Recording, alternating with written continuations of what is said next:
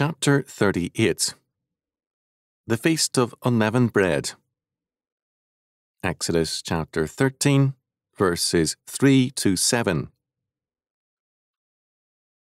And Moses said unto the people, Remember this day in which ye came out from Egypt, out of the house of bondage, for by strength of hand the Lord brought you out from this place. There shall no leavened bread be eaten. This day came ye out in the month Abib.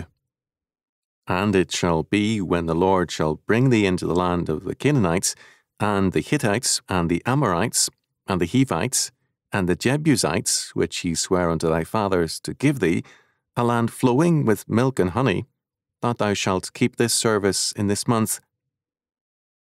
Seven days thou shalt eat unleavened bread, in the seventh day shall be a feast to the Lord. Unleavened bread shall be eaten seven days, and there shall no leavened bread be seen with thee, neither shall there be leaven seen with thee in all thy quarters. Exodus chapter 13, verses 3 to 7. The Feast of Unleavened Bread is virtually identical with Passover, verse 6. No work was to be done during the seven days of the feast verse 16.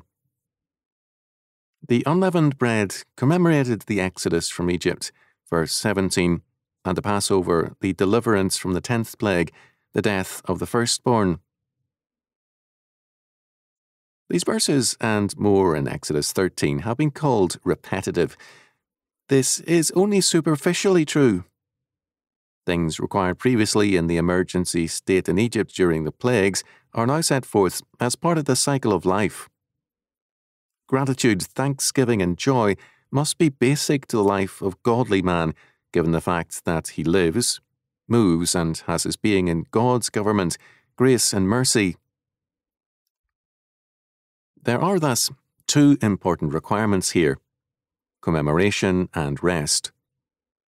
God requires us to commemorate and celebrate days important in our lives under Him and as heirs of the grace of life. Never in the history of Christendom have they been fewer, perhaps, than now. Those that remain are highly secularized. The Christian calendar once governed society, and the holy days were central to the calendar year in and year out. They also provided a great many days of rest Productivity has not been enhanced by taking joy out of the calendar, and joy has left as men have abandoned Christ.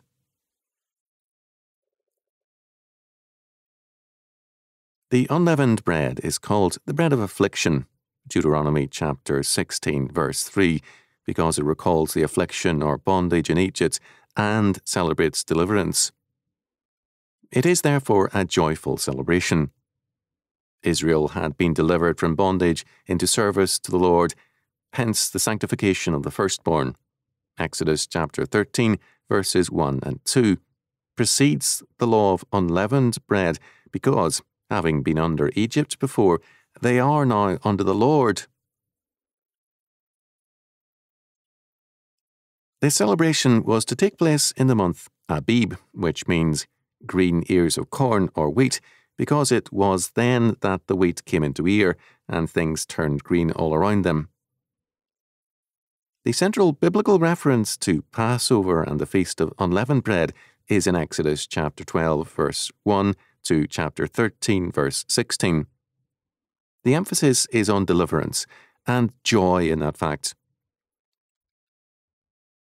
To understand this feast, it is necessary to understand the biblical meaning of leaven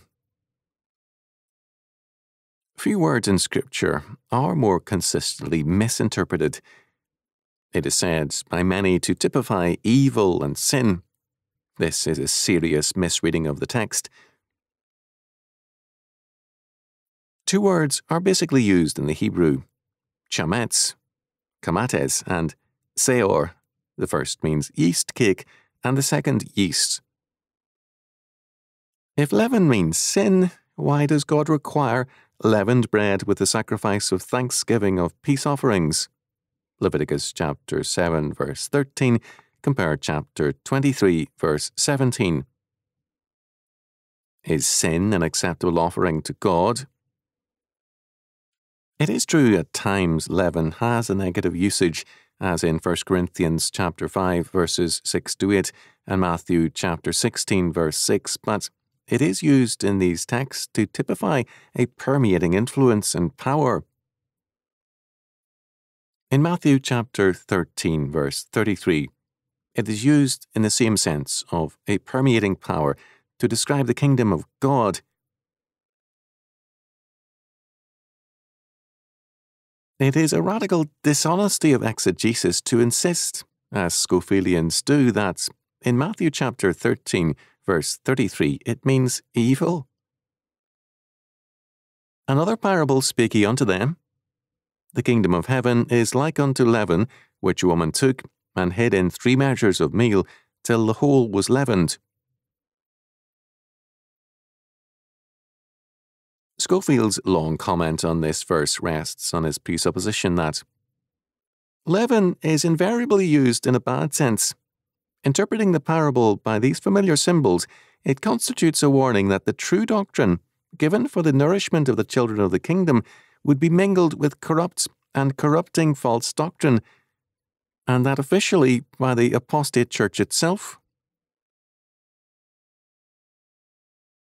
With such a method of interpretation, the Bible can be made to mean anything. If Scofield was right, Leviticus chapter 7 verse 13 means that God requires false doctrine of us. Scofield said of Leviticus chapter 7 verse 13, That's here Leaven fitly signifies that, though having peace with God through the work of another, there is still evil in him. In this, he is closer to the truth. Leaven or yeast produces bread which can mould. A loaf of leavened bread is not an evil loaf, but it is a loaf which can grow mouldy. Our offerings to God, our works, are subject to mortality and decay. The passing of time dims or erases the works of men. This, contrary to Scofield, does not make them evil. Our human labours for God's kingdom can be at times somewhat tainted with our vanity and sin, or they can be truly holy in a creaturely sense. In either case, they fade or pass away with the years. God, however, requires a leavened offering from us all man's works, this side of heaven, and the fullness of the new creation are indeed mutable and limited, but our sanctification, although a faulty process here on earth, is still a necessary one. Turning again to the Feast of Unleavened Bread, let us remember that the reference in Deuteronomy chapter 16, verse 3 is to the bread of affliction, and yet the feast is a joyous one. It is at this point that the meaning of this festival comes into focus. The Scottish Presbyterian divine, Thomas Boston, 1676 to 1732, in Human Nature in its Fourfold Estate, 1720, ridiculed the belief of the Arminians that man could go easily from a state of depravity into a state of grace without a shattering of his life. He wrote,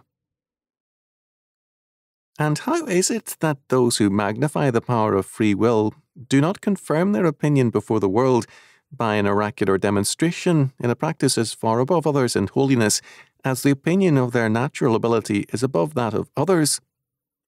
Or is it maintained only for the protection of lusts, which men may hold fast as long as they please, and when they have no more use for them, throw them off in a moment and leap out of a Delilah's lap into Abraham's bosom?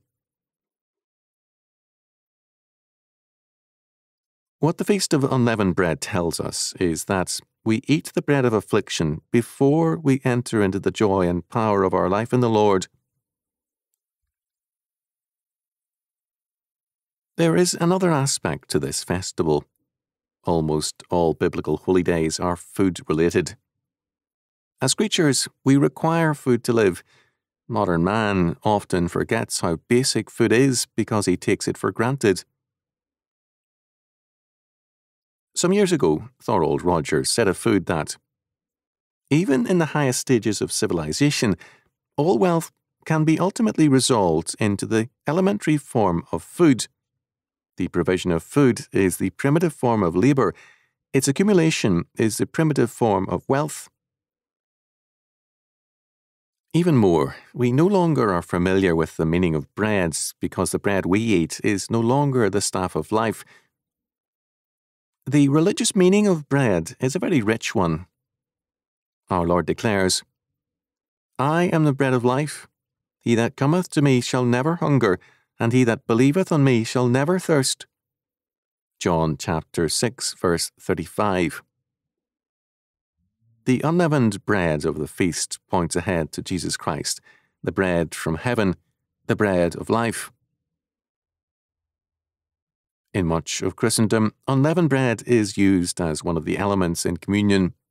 Thus, in the Christian Passover, the place of unleavened bread remains